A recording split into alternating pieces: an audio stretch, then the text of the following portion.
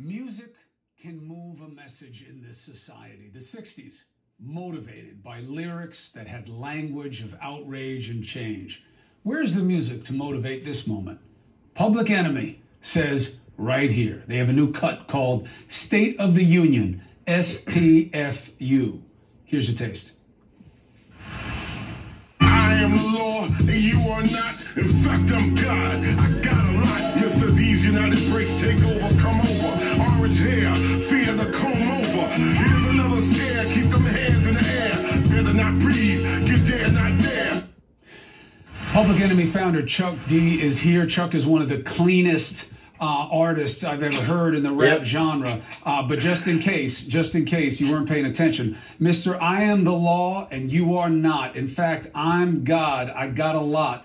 Mr. These United Breaks take over, come over. Orange hair, fear the comb over. Here's another scare, keep them hands in the air. Better not breathe, you dare not dare.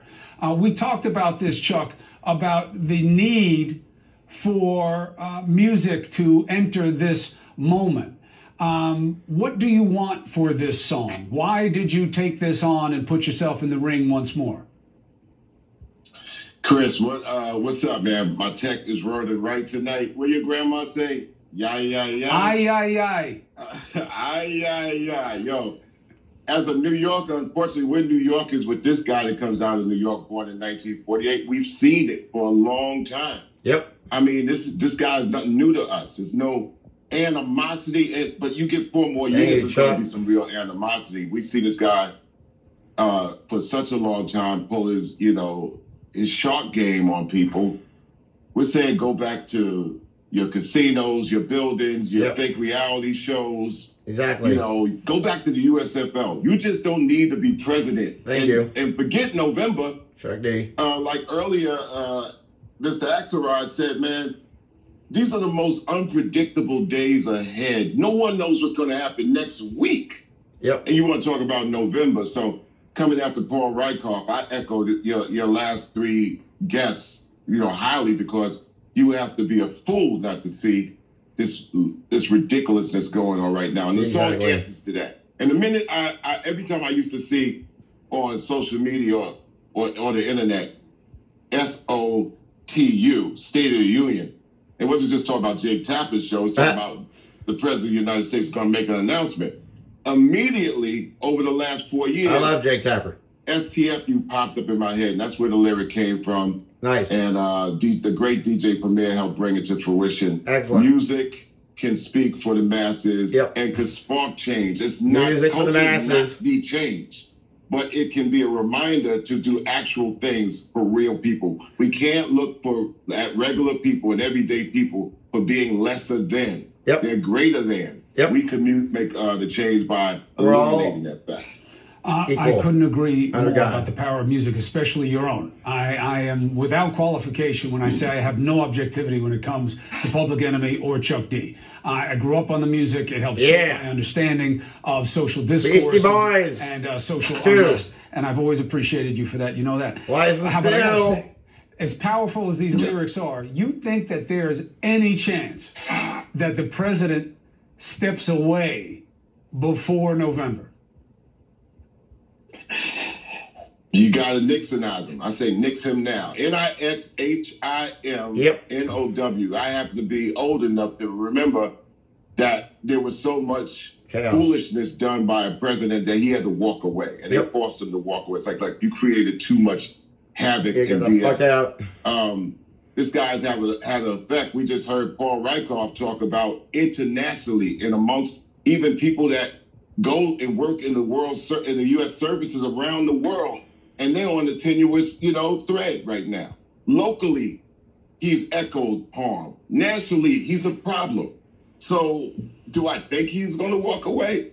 You have to put keep your foot on the gas and say, dude, we're asking and telling you that you just got to go Yep. no animosity, but if you stay in that seat, you, why would the other guy running for president, Joe Biden, says, listen, if he doesn't leave, I might have to get the military to make him leave. This is the most ridiculous conversation Ever. for the for the everyday citizen living here in this country and around the world. Yep. That it ever could be. That they're talking about like Trump there is was some coup or something going joke. on. Everybody's unsure about A what's going on. I hear you. And you got to be able to, yeah, you got to be able to say, listen, man, guy ain't playing by the rules, man. Yep. He's not playing by the rules, Chris. He never I mean, every day, you know, you're looking at something that lines up with the symbolic hatred that we feel every day as a as a people, as a black person. If a president of the United States says, "I'm going to keep the losing side on as a statue in a city, and I'm going to arrest you for taking down the losing side, which is the Confederacy," I got a problem with that. For years, we were able to like kind of like ignore the the the, the overt racism or the subtle racism in symbols Consolidated. and statues. Miss But to-. Tell you that symbols are powerful, Chris.